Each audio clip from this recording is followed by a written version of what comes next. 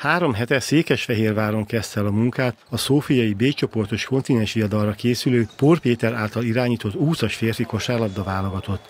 A Nyíregyházi Fazekas Csaba is tagja a bő 18 játékos számláló keretnek. A fiatalember célja az, hogy ott legyen a tornára utazó 12 kosaras között.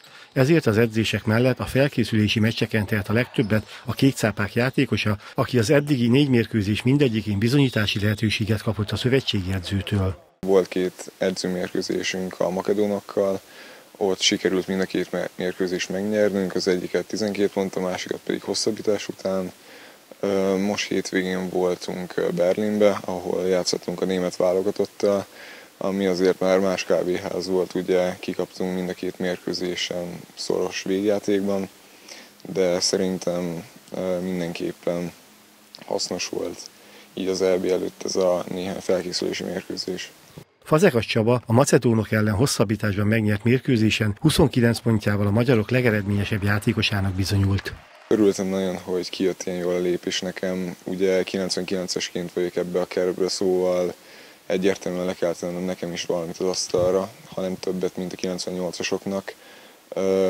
Tényleg azon a meccsen elkaptam a fonalat, minden, minden szinte jól kijött de ez a 98-as korosztály ne, nagyon erős. Örülök is, hogy egy ilyen korosztályban ott tudok lenni, mint játékos, és szerencsére jól is megértjük egymást a csapattársaimmal, és szerintem az EB-n is, hogyha ott leszek, akkor bízom benne, hogy egy jó eredményt el tudunk majd érni ezzel a kerettel.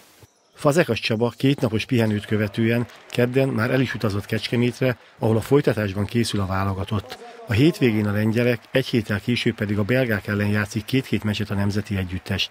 Azt követően pedig Szófiába utazik a csapat, ahol a csoportmeccseken Luxemburg, Oroszország, Csehország, Hollandia és Örményország ellen lép pályára a Fazekas Csabát reményei szerint soraiban tudó együttes.